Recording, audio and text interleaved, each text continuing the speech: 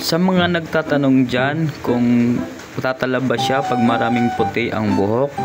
Ito mga idol no, nakikita nyo naman sa video natin.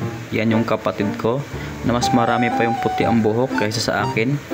Ayan, gagamitan natin yan mga idol ng ating ipinagmamalaking Yagwan Black Shampoo.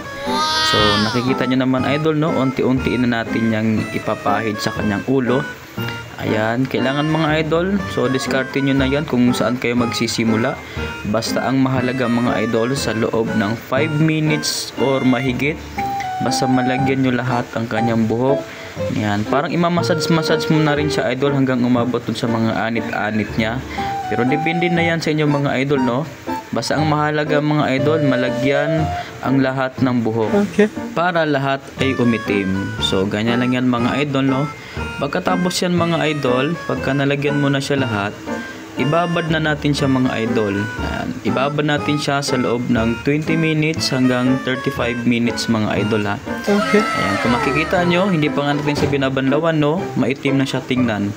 So mga idol, makikita nyo pala ang result nito. Ah, picture na lang mga idol kasi matagal kaming hindi nagkita no. Gabi na kami nagkita nito kaya pinicturan ko na lang yung result sa kanyang buhok. Ayan mga idol. So mga idol, kapag gusto ninyong mag-order, click nyo na lang yung yellow basket natin dyan. Maraming salamat.